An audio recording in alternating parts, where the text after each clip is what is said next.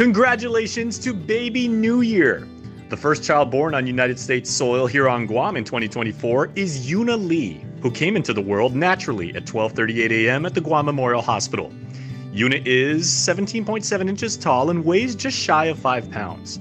Her very proud parents are mommy Yui Kamiyama and daddy Euijong Lee, who is the administrator for the Korean consulate here on the island. Her arrival was met with scores of loving and congratulatory comments on social media from her new island neighbors, who also wished her a happy birthday.